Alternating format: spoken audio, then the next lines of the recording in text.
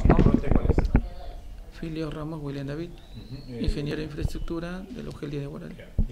Coméntame, ya se venció lo que es el plazo para el rendimiento de cuentas del dinero a semana en Ministerio de Educación para los colegios.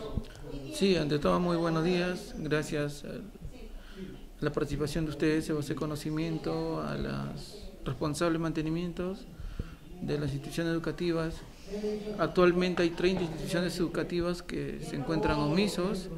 Ellos van a tener un, ya van a sacar un- una documentación, un oficio a los directores para que puedan, o responsables para que puedan saber por qué hasta esta fecha no han respondido con traer sus informes y se le dio un mes más de plazo.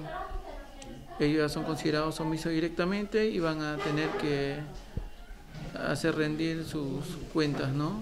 Y posiblemente con un proceso administrativo. ¿Cuándo específicamente ha vencido el plazo? El mismo 30 de septiembre, El segundo plazo. el segundo plazo, porque el primer plazo se venció el 30 de agosto, pero el Ministerio de Educación, haciendo los llamados correctivos, se le pidió un mes más y ellos sacaron una resolución pidiendo un mes más de ampliación. Se puede apreciar que estos mantenimientos desde el 2014 a la actualidad están haciendo cambios y hay mejoras en instituciones educativas. Una de ellas es el, la Aurora, el nivel inicial, que el 12 van a inaugurar, ¿no? Por hacer su mantenimiento. Ustedes pueden ir y constatar a ustedes mismos y pueden ver cómo ha cambiado su infraestructura. Otro de ellos es el Asovicen, el otro es la parte Peralvío, Candelaria mismo, la parte alta también hay colegios. Hay otros colegios como el 2042 que han hecho una fusión de mantenimiento con APAFA y dirección para que esta infraestructura de estructuras metálicas pueda hacerse realidad, ya que ellos no cuentan con, una- con un costo, un presupuesto ni del gobierno ni, ni, ni de otras entidades, sino con en conjuntamente se realiza todo esto para poder lograr una infraestructura de, adecuada, ¿no? Eh, ya se ya se está haciendo el consolidado final para estas estas instituciones educativas omisas para que se le haga el cambio inmediato de responsable para el 2017 y posiblemente mandemos en los oficios correspondientes para que nos sustenten porque hasta la fecha no, no han dado ni una información.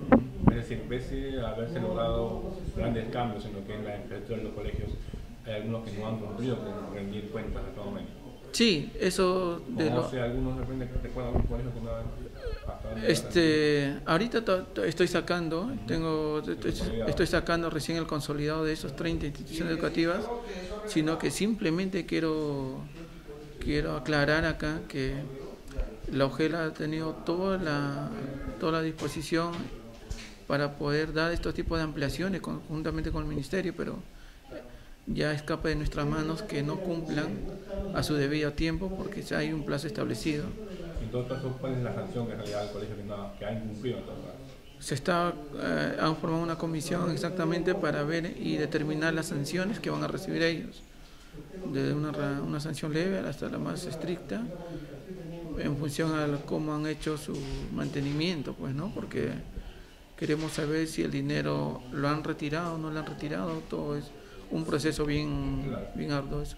Sin embargo, no es la primera vez que pasa esto. ¿no? Ha habido ya años anteriores también este tipo de casos. ¿no? ¿A qué se debe específicamente que los directores no cumplen rendir cuentas? Eh, si bien es cierto, no es toda la responsabilidad de los responsables, es que cada responsable tiene no solamente el mantenimiento de, de infraestructura de los colegios, sino también tienen otros compromisos. Y, y válgase la verdad, también a ellos se les capacita solamente una vez. Ellos son pedagogos, no son especialistas para poder hacer un mantenimiento. Esto conlleva a que al Ministerio de Educación ya se le hizo el informe respectivo para que ellos puedan ser los mismos protagonistas de hacer este mantenimiento y ya no los responsables porque como cada empresa hay 30 omisos y de esos 30 omisos hay este, repercusiones al final ¿no? para la UGEL. Eh, entonces eh, se le invoca también que se va a hacer una convocatoria general a todos para poder decirle y apoyarles también a ellos de una u otra manera porque esto de acá genera malestar. Si bien es cierto, hay muchos colegios que han hecho muy buenos cambios en infraestructura, pero hay otros que todavía no lo, no lo logran. Se está haciendo, ahora se está saliendo a los colegios para ver si verdaderamente han cumplido el mantenimiento como dice su, su informe final. Y si no, también van a ser sancionados. Hay casos que también ya hay con sanciones, pero esta vez van a ser mucho más estrictos y más fuertes. Por eso se le pide a los, a los responsables que, que están, están cumpliendo a cabalidad, vamos a hablar con, y reunirnos con otras entidades para ver cómo le podemos apoyar e incentivar con algunos logros, porque es bien difícil eh, hacer estos tipos de mantenimientos y también otros tipos de trabajo que ellos tienen.